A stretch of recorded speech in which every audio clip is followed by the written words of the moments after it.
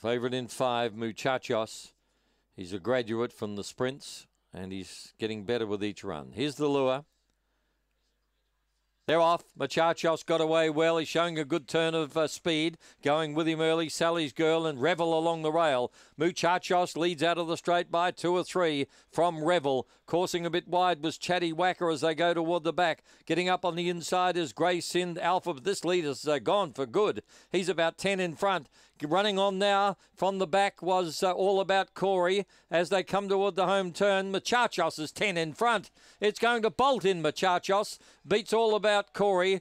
Chatty Whacker. Then came Sally's Girl. Further back on the race then came Grace in Alpha.